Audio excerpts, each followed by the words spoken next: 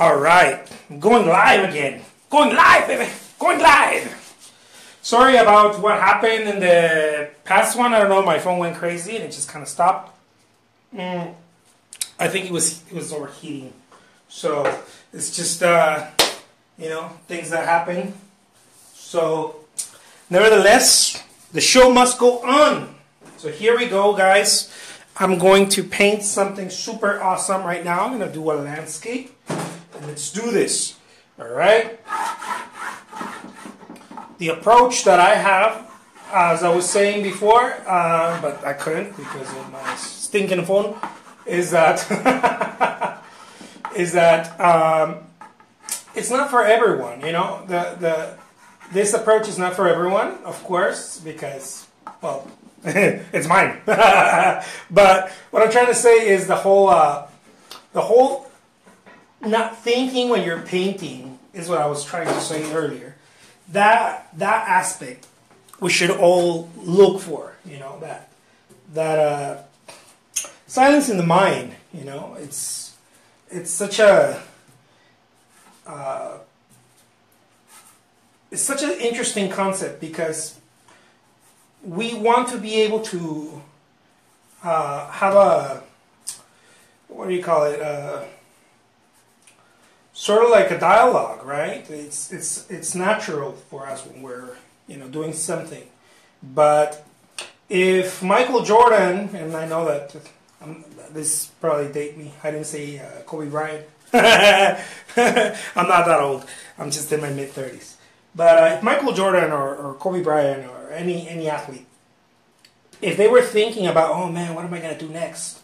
You know, they, they can't. It just it doesn't happen that way.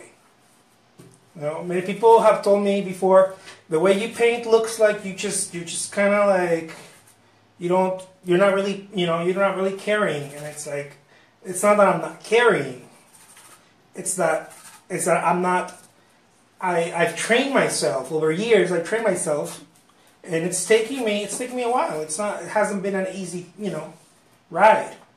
It really hasn't been an easy ride. I know. I, I know some people tell me you make it seem easy or this or that, but but really it hasn't been an easy ride because because first I had to learn, like Picasso said, right, the the rules to then break him, And I think he wasn't talking about technical, you know, the, the technique or you know technicalities or whatever. Maybe, maybe a bit of that, but I think that what he was trying to say, what I've learned later on through experience, was that he was trying to say, uh, then you let him go, you know. But of course, he he he didn't use those words. I don't think he did. But I'll use them. you, you you learn you learn the things so that you can then let him go. Because if you don't, this is one of the things that I've learned. If, if you don't know how to let go as you're creating artwork, uh, it becomes very difficult to create artwork. And it's and sooner or later you start finding out. This is what happens in the beginning. First, you realize your first years, you realize that you're not quote unquote good enough, right? that you have you need practice you need to get your abcs down and this and that that's the first thing you start realizing thank you so much didi hi the very first thing you start realizing is that you you you haven't gotten your abcs down right okay so you get a little bit of practice and you get happy about it and now this is not for this is not everyone but certainly this is what happened to me and what i saw with other uh, fellow artists and then you go through the through the process of you realize you are making progress. Those years are sort of uh, very golden years because ignorance is a bliss. You don't know that you don't know. So in your mind, you're doing this great thing, right? And you are. That's that's the beauty of that. The problem is not other people. The problem is us. We'll lose that right away as soon as you start learning more, as soon as you start understanding other stuff in art, naturally you want to apply that, right? Because you're learning. You're, you're, you're, it's like a sponge, right? The problem is that we don't, normally, most of us don't say, oh man, that's so awesome. I'm going to apply that to what I already know. No, we say, I'm going to master that. and then that's a problem. because what starts happening is that you start looking at what you do with negative eyes. And, and it happens so uh, and I'm not trying to discourage anyone. I'm trying to say, look, this is this is something that happens to many artists. Uh, pay attention and learn how to get out of it. This is where a lot of artists get artist block because they rather do nothing than do the wrong thing.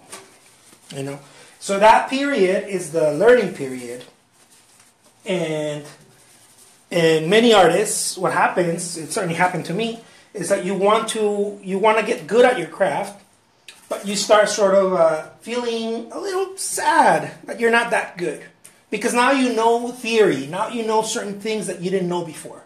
That when you were happily painting, you didn't know, right?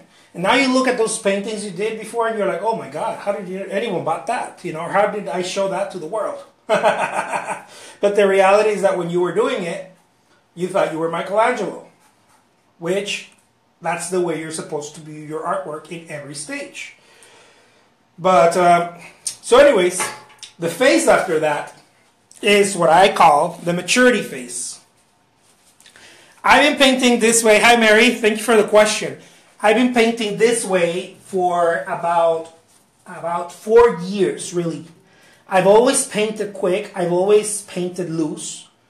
But the way I'm painting now, I've been uh, more or less really learning how to just let go and by that, of course, you apply what you've learned over the years, but you start letting go.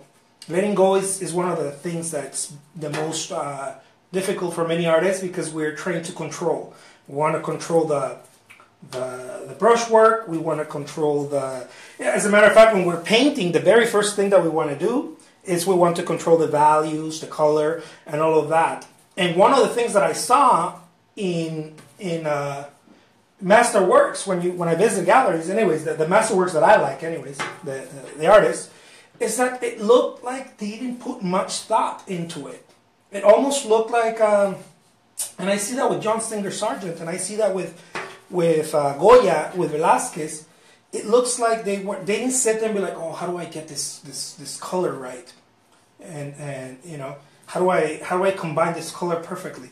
it almost seemed like it was very intuitive because you can tell you, you start learning little things as you as you go that are experiential not things that someone else teaches you but things that you start noticing about your own brushwork your own you know how artists created the work. And you start realizing things that they did and that's one of them. For me anyways i started seeing that artists uh, hola jose. Brian says how's it going brian and you start realizing little things that artists do or did that had to do with uh, a more mature approach. And that is the third stage. That is the stage that I, I believe that we all want to be, regardless of how you paint or how you draw, regardless of, of your, your uh, the way that you create artwork.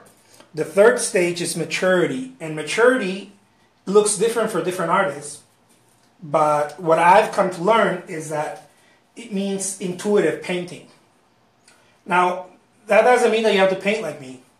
Intuitive painting is when you start going on, like, you know, like I mentioned before, Kobe Bryant doesn't go, oh, that's a great opportunity for me to score, right? Or to take the ball and do A, B, and C. No, it's intuitive because of all the years of practice and all the hours. Now they, they, they come without him really uh, uh, even thinking about it. You know, so it's a very spontaneous approach, and that looks wrong when you're creating artwork. It even looks wrong. Your your your values are off. You're this, you're that, but you start. You really start. The more you do it, and the more you let go, because it really has to come down to letting go. The more you realize that that no, you you've tapped into something else. You've tapped into something much more. Uh, it looks aggressive, and you can see that in, in many athletes, artists, or whatever, but it, it's much more real to them. To them, anyways. You know, it's it's it usually comes with speed, but in different ways, right? That doesn't mean that that if you create you know very uh, hyper realistic portraits, it's not going to mean that you're going to do this type of speed. It might mean I don't know, and you still get away with doing hyper realistic portraits. It's my belief that John Singer Sargent painted very fast. Now, I don't know, I wasn't there, of course, to see him paint, but based on what I see, and the brushwork and the, the, the movement, that cat was painting fast. Just like Velázquez and Goya and many other artists that I believe were very uh, intuitive painters. They weren't they weren't like we, we picture them, these artists that are like, let me see, where am I gonna make that line? Oh right here. No.